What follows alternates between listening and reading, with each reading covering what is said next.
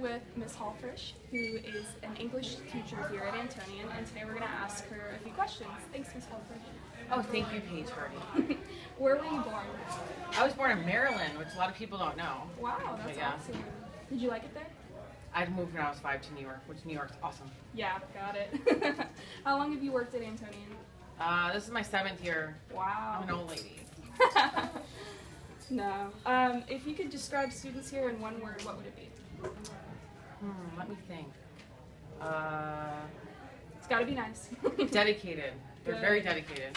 Good. Well, thank you so much for having this interview. Oh, thank you, Paige Hardy. It was a pleasure.